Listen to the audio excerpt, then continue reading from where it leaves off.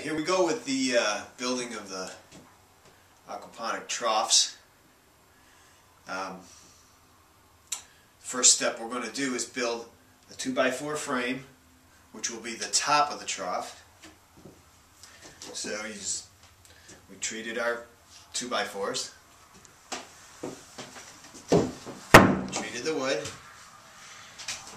and we'll just attach a 8 foot 2x4 to a 4, well 54 inch 2x4 for the end caps.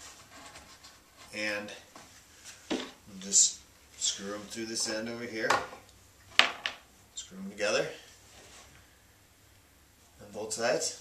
And that'll be the top rail of the trough.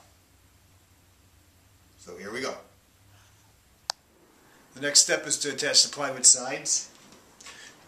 You attach from the inside out into the 2x4s like this.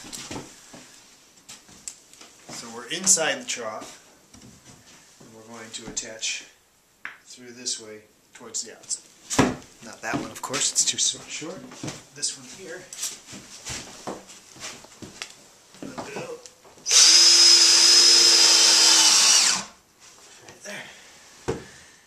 we attach some legs, braces, whatever you want to call them. So, cut that, treat it, put it there, measure it to the bottom of the board, and angle it in. And the next step in the construction of the trough is to put down the liner. We're using Duraskim that right? Duraskin, yeah, something like that. Scrim. Durascrim. We bought it from Raven Industries online. It's pond liner. It's really thick stuff. It's really nice stuff. It's really strong. It's pretty thick. So all you want to do is cut your liner three feet longer than your trough. Ours are eight feet, so we cut an 11 foot piece of liner and we let it hang over equal amounts, 18 inches on both sides. And what we're going to do is line the edge up. It's six feet wide, you need six feet wide. So we're going to line the edge up, starting in the middle, staple it down right to the edge of the plywood.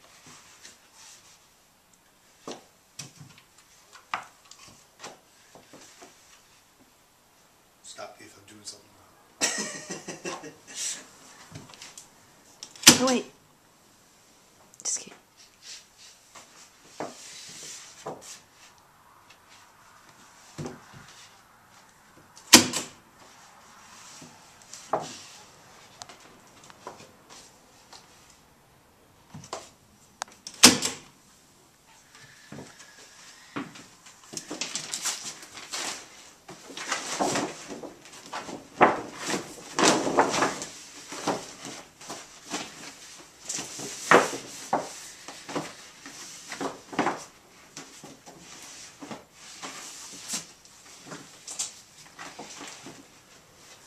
I want to go to the edge.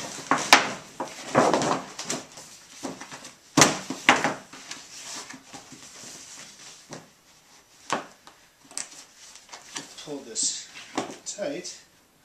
Not crazy tight, but it's curving a little.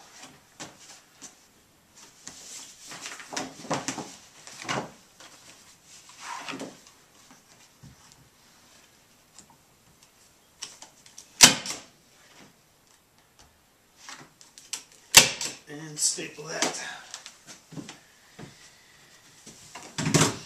Then we line it up in the middle between these two.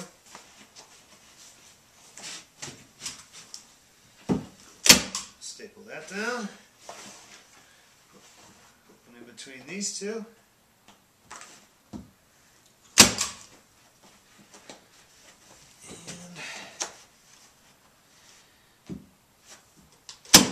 there. There.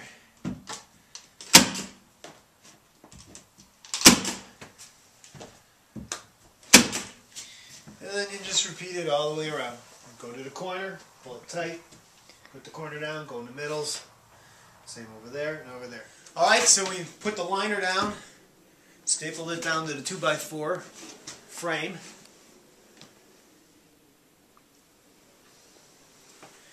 And then we added these 1x2s, just right over the top. Screw it right down onto the 2x4, sandwich the liner in there.